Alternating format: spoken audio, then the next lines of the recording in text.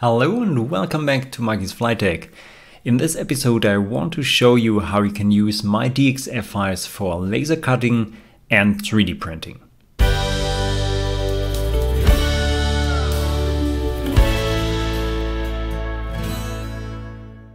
When you have downloaded one of my files, then they come something like this, divided into separate pieces. In this case here, in the panel for a pedestal segment, we have the two bottom layers, so bottom and middle layer. These are cut out from clear acrylic. The top layer, which is cut out from white acrylic, and the backlighting plate, which is cut out from HDF or a thin MDF plate. Down here you find also an engraving for a resin printed button. Your laser cutting tool has already assigned a tool setting to these lines here.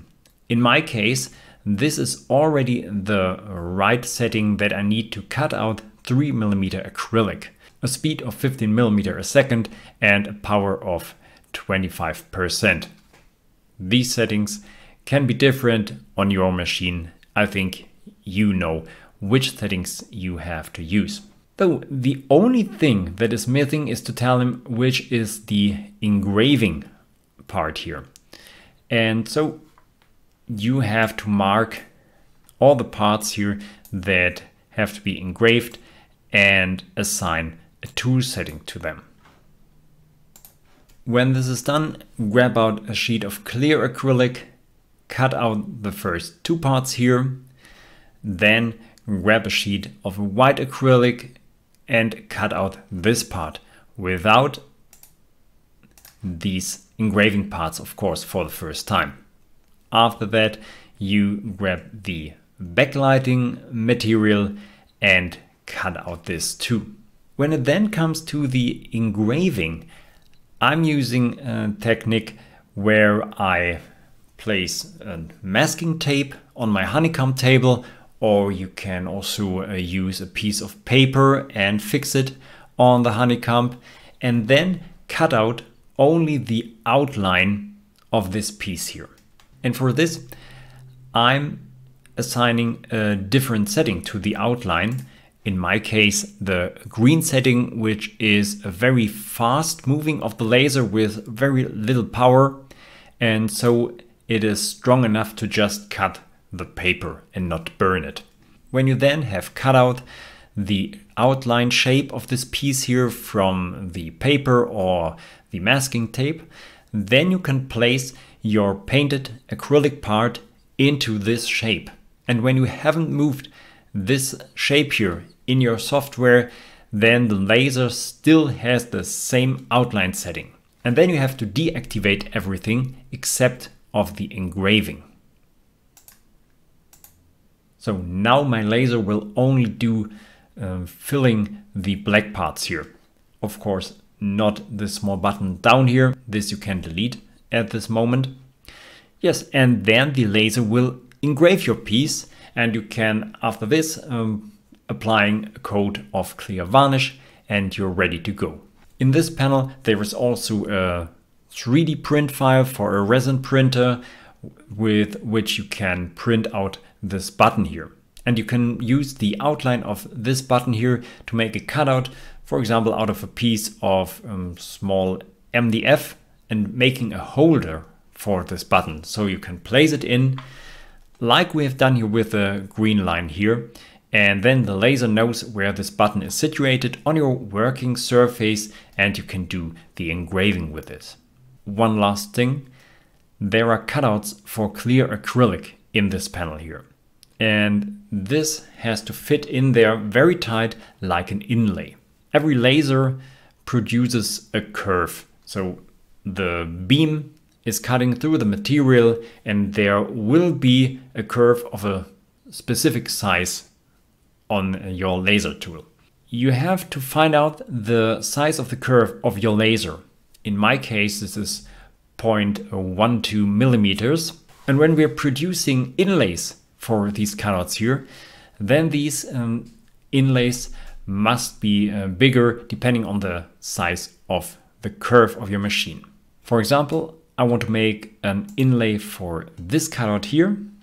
I'm making a copy of this. And then I will make it bigger. Let's zoom in so that you can see this better.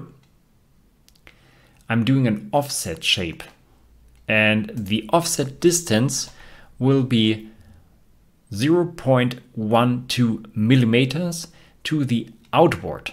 And now this piece is bigger and I can cut out this from clear acrylic and it will fit very tight inside of these cutouts here. This is all you have to know when you want to cut out my panels with a laser cutter. But if you don't have a laser cutter or a CNC, this is no problem. You can also make files for your 3D printer from MyFiles. For this method, I'm using Fusion 360. You can use any other program that can do this. Again, you should know the software you are using. In Fusion, I'm going to insert and insert the DXF file. I'm selecting the plane where this file will be placed and then select my file.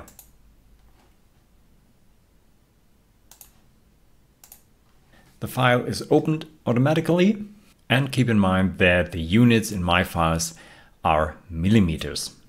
We are concentrating on this top panel here because there is everything we need to show here for this purpose.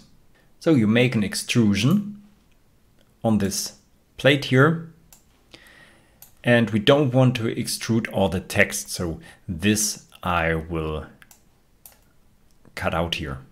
Now Fusion knows that only this shape and the cutouts uh, should be extruded and I will extrude it down now. This is important and minus three millimeter. All my constructions are made from three millimeter acrylic, so all the parts should be the same to fit to each other. If you want to do it with another size, then extrude it to whatever you like.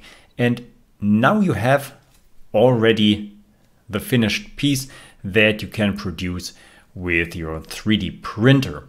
You could engrave it if you have an engraver. Hmm, for example, if you have the possibility to engrave but not to cut acrylic, then this should be a method for you. Just 3D print out the piece and then engrave it. But if you can't engrave too, then we have to make the engraving with a 3D printer.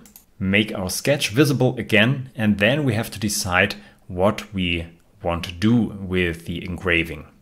One option is that we engrave it into the piece, for example, 0.2 millimeters. So now with a resin printer, this is no problem. If you have the possibility to print these big pieces with a resin printer, then you can print out it with the text engraved and then you can fill this engraved text, for example, with wax. And then I think it isn't backlightable, but it is looking good uh, when you are looking to the panel under normal light conditions. The second option is that we raise the text. So again, using the extrude tool and extrude it, for example, 0.5 millimeters.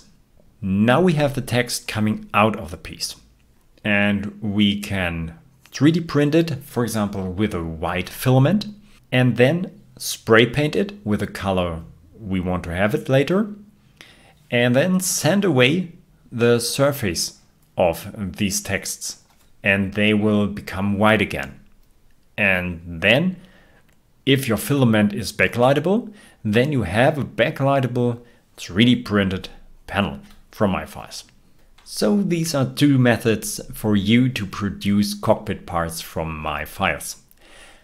I'm receiving these questions from time to time and I thought it was time now to make a video about it to make the production for you a little bit easier.